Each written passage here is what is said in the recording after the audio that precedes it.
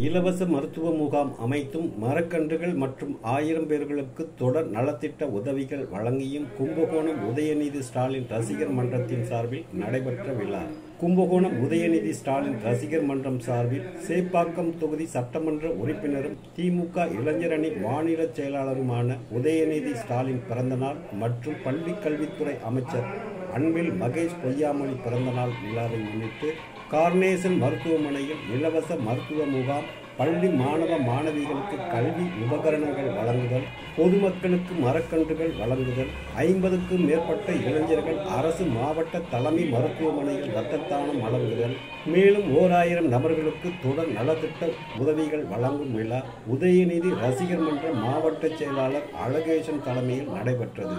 இந்நிகழ்வினை மாநிலங்களவை உறுப்பினரும் மாவட்ட செயலாளருமான கல்யாண சுந்தரம் துவக்கி வைத்தார்.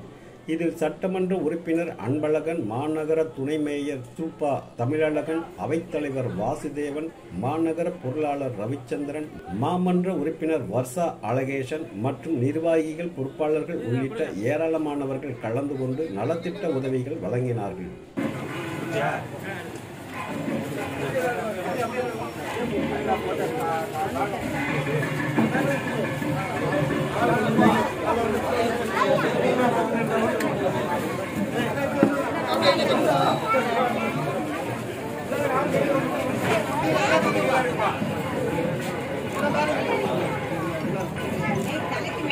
எல்லாம் பேக் லைட்டா தூக்குப்பா எல்லாம் எல்லாம் எல்லாம்